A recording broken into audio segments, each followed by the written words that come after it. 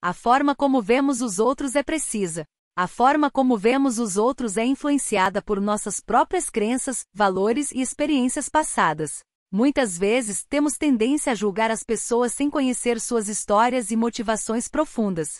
Além disso, nossa percepção pode ser afetada pelo contexto em que estamos e pelo nosso estado emocional no momento. No entanto, é importante tentarmos ter uma visão mais objetiva e aberta sobre as pessoas, sem julgamentos prévios.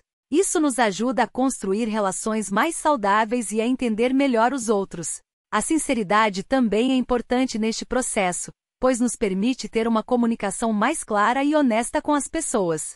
Quando compartilhamos nossas verdadeiras opiniões e sentimentos, somos capazes de construir relações mais profundas e significativas. Em resumo, a forma como vemos os outros é precisa em certa medida, mas também está sujeita a influências externas e internas. É importante tentarmos ter uma visão mais ampla e objetiva, sempre buscando conhecer melhor as pessoas e compreendê-las. Além disso, a sinceridade e a honestidade são fundamentais para construir relações saudáveis e significativas.